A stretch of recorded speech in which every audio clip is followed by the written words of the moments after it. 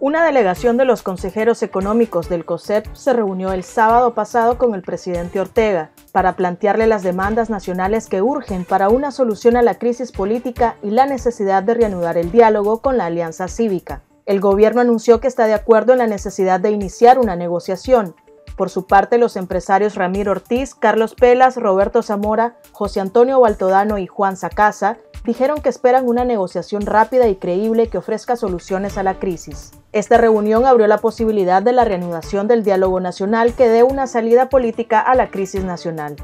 Organizaciones internacionales como la Comisión Interamericana de Derechos Humanos y la Oficina del Alto Comisionado de las Naciones Unidas para los Derechos Humanos saludaron la iniciativa y demandaron una serie de condiciones básicas para un eventual diálogo nacional. Según la CID, todos los presos políticos deben ser liberados, se debe restaurar el derecho de la libertad de prensa y la libertad de empresa, devolver la personería jurídica a organizaciones no gubernamentales y dejar sin efecto los decretos que prohíben las manifestaciones públicas. Por su parte, la alta comisionada de la ONU, Michelle Bachelet, aseguró que el cese de la represión y el compromiso de justicia para las víctimas debe preceder el diálogo nacional. La Unidad Nacional Azul y Blanco también expresó un respaldo completo a las peticiones hechas por la CIDH y la Oficina del Alto Comisionado de las Naciones Unidas para los Derechos Humanos como condiciones previas para la reinstalación del diálogo nacional. La UNAP respalda la continuidad de los obispos de Nicaragua como mediadores y a la Alianza Cívica en su papel como representante de los sectores sociales en la mesa de negociación.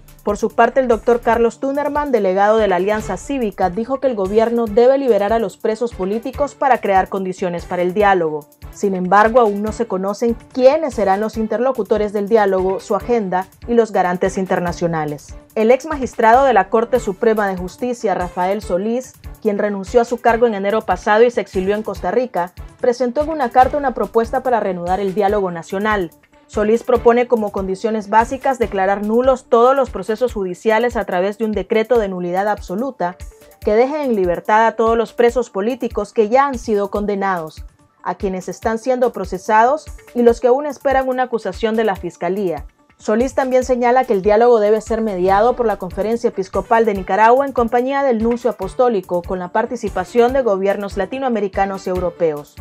En la misiva, Solís también considera que la caída del régimen de Nicolás Maduro en Venezuela, la presión internacional, la caída estrepitosa de la economía del país y la presión interna son los factores que están obligando a Ortega a abrir la posibilidad de volver al diálogo nacional. Mientras el gobierno promete volver a una negociación política, la justicia orteguista continúa condenando a los manifestantes de la protesta cívica. El líder del movimiento campesino Medardo Mairena fue condenado hoy a 216 años y 3 meses de cárcel por participar en la protesta cívica. El juez orteguista Edgar Altamirano también condenó al campesino Pedro Mena a 210 años de cárcel y a Silvio Pineda a 59 años y 3 meses de cárcel por el presunto asesinato de cuatro policías y un profesor durante el atentado contra la delegación policial de Morrito, Río San Juan, pese a que los condenados no se encontraban en el lugar de los hechos. La condena también incluye los delitos de terrorismo y crimen organizado. La Anunciatura Apostólica en Nicaragua anunció que el Papa Francisco concedió la absolución de todas las censuras canónicas impuestas al sacerdote y poeta Ernesto Cardenal, sancionado por el Papa Juan Pablo II en 1984 por pertenecer al primer gobierno sandinista y por defender la teología de la liberación.